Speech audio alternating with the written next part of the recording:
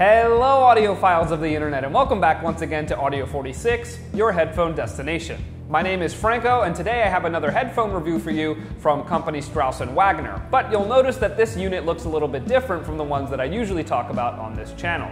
Even though Strauss & Wagner pride themselves on their claim that they can deliver high-quality audio in packages that are really affordable, is it really possible to get audiophile grade sound from a $40 earbud? Strauss & Wagner says yes, and I'm going to weigh in right now. So stick around because we're going to get into it. Let's talk headphones.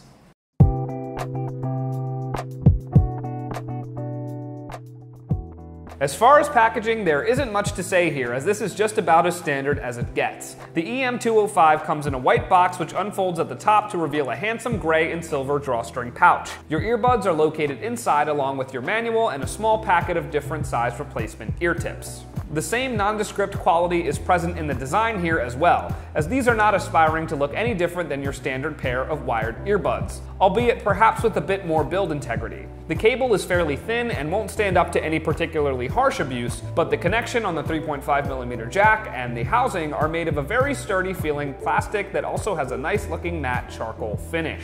These certainly feel a little more solid and durable than a typical bargain bin earbud. These also feature an inline remote with three buttons to control volume play, pause, and skip functions, and handle your calls. Because of this boilerplate dual cylinder shape, you won't find much in the way of ergonomics here, and these fit just about as well as any other earbud I would carry around. They were nice and snug in the ear, but they don't slot in as well as something like a universal IEM, and despite their relative comfort, these will start to wear on you ever so slightly if you're going to have them on for abnormally long amounts of time. As far as your nuts and bolts, the EM205 utilizes a reliable 9mm dynamic driver setup, and they output the standard frequency range of 20 Hz to 20 kHz. These factors, combined with a 32 ohm output impedance to ensure optimal performance from either a smartphone or a computer, mean that these headphones stand pretty smack in the middle of the spectrum when it comes to headphone specs. No more than the usual, and no less.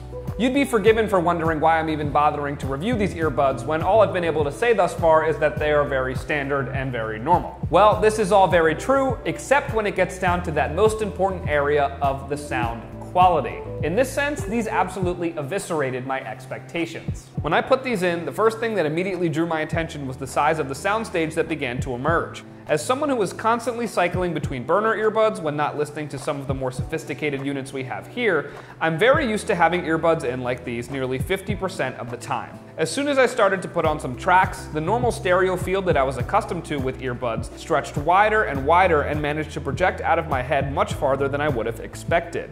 Granted, these are still small units, so they're not going to give any decent open back over ear headphones a run for their money in this department. But the amount of size that they can deliver in such a small package is really notable here. In a track like Supremacy by Muse, each of the intricate instrument parts gets its own space to reverberate naturally and retains finely layered timbres. The image was very clear and there was a superb amount of separation. It'll be no surprise to regular earbud users out there that these do lean a tad heavy on the bass. The low end frequencies here are thick and powerful, but with enough balance and restraint not to overpower the limited headroom. Any song predicated on heavy drums and bass will absolutely receive its due here. And for those like me who prefer a little bit of rumble to their tracks, these have a good amount of thump and sub bass presence to get your head nodding. In something like Jennifer Lopez's Pa Ti, the reggaeton beat is sufficiently heavy but doesn't cause any fuzziness or bleed over some of the more delicate elements. Certain mid-range frequencies also really stick out here, generally frequencies that are more toward the low end of the mid-range, which gives these headphones an overall very warm and pleasant sound signature. This means that depending on what you're listening to, some of the elements in this range might blur a bit more than you might prefer. For instance, in All I Ask by Adele, the combination of the rich piano with her smoky and bellowy vocals results in an effect that is heavy on overtones and creates a blanket of mid-range sound that is totally enveloping.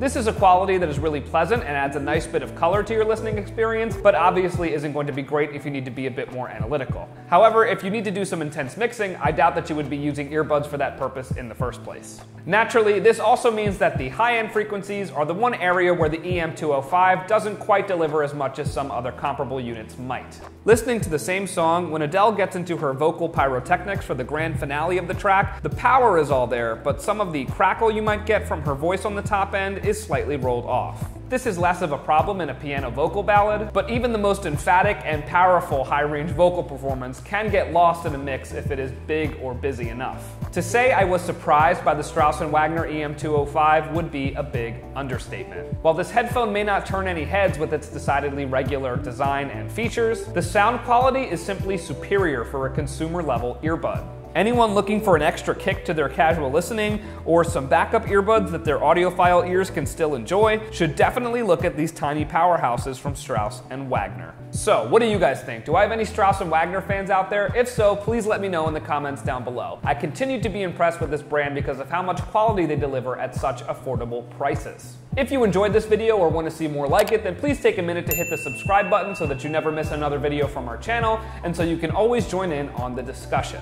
To learn more about this product or any other that we sell in the store, please feel free to visit audio46.com to check out our blogs and other reviews. And if you want to get our best sales and deals delivered right to your inbox while you're shopping for the holiday season, then please consider joining our mailing list. Finally, if you happen to find yourself in New York City in the coming weeks, then please feel free to drop into our brick and mortar store right here on 46th Street so that you can try out some gear and come and say hello. All right, guys, that's it for today. Thank you once again so much for watching. My name is Franco with Audio 46, your headphone destination, and I will see you all very soon.